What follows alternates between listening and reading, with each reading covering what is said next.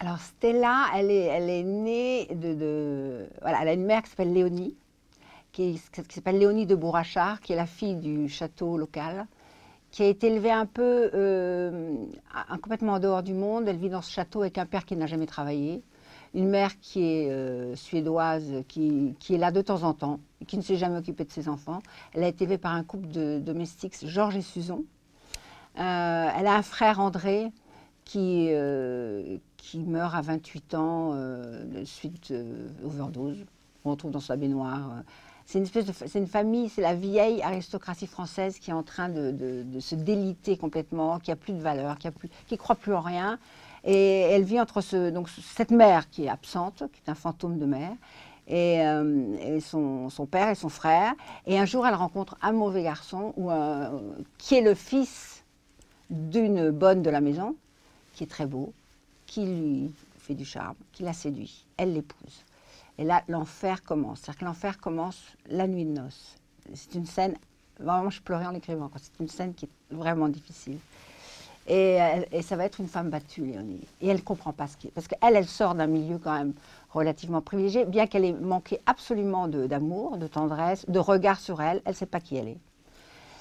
Et, elle tombe sur un homme euh, qui la bat et elle ne comprend pas. Donc elle se dit, c'est de ma faute, ce, que se disent beaucoup de femmes euh, battues c'est de ma faute, qu'est-ce que j'ai fait? Et euh, elle va vivre un enfer, et elle va avoir une fille, Stella. Alors là, je ne vous raconte pas l'histoire, parce que c'est là où le personnage de Stella est plus compliqué qu'on ne croit. Et cette fille, euh, Stella, est, un personnage euh, ahurissant, parce qu'elle fait 1m80, elle est très... elle est à la fois très jolie, elle se rase les cheveux, sauf qu'elle garde une espèce de crête sur la tête.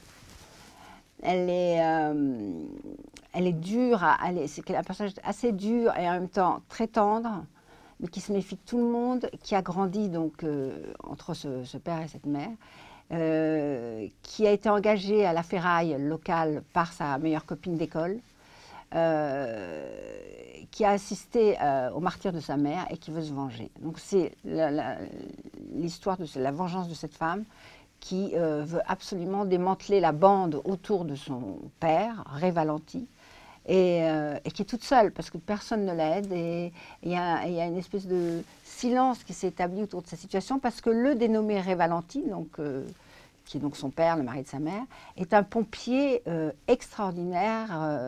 euh. Qui, qui, qui, vole au feu, qui sauve des, dizaines de vies humaines, qui, lors d'une prise d'otage dans une école, sauve les enfants. Enfin, c'est un, un, héros local.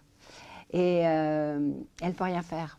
Elle ne peut rien faire parce qu'il y a une image trop forte de héros, que le type est extrêmement séduisant, très bien organisé. Il a installé toute une espèce de, de, mafia euh, locale qui rançonne les commerçants. Euh, il a des combines avec tout le monde, avec les flics, avec le préfet, avec le maire. Et, euh, il tient toute la petite ville. Ça se passe dans une petite ville imaginaire qui s'appelle Saint-Chaland.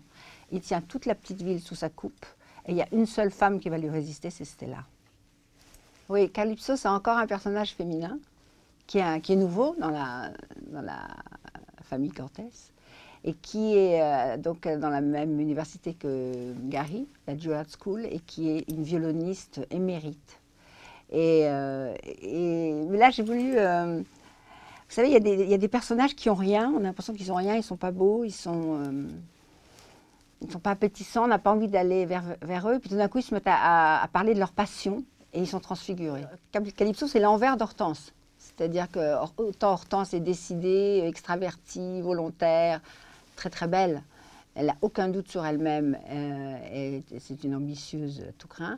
Autant Calypso, c'est le contraire. Elle est rêveuse, elle est lente, euh, elle, a tout un monde intérieur euh, et elle, a cette passion du, violon. Et Gary et elle vont se rencontrer à travers la musique. C'est-à-dire que c'est comme une enchanteresse. C'est pour ça que j'ai donné ce prénom de, de Calypso en hommage à, l'Odyssée, il y a des l'Odyssée, parce qu'elle est, euh, est ailleurs, Calypso. Et donc tout ce physique très ingrat qu'elle a, parce qu'on dit qu'elle ressemble à une souris, et euh, Gary l'oublie quand elle joue, et elle, elle l'ensorcelle en fait. Et il va tomber euh, sous le charme de, Calypso comme Ulysse dans l'Odyssée. et, et, il va être partagé entre ces deux femmes, entre Hortense et Calypso, et voilà.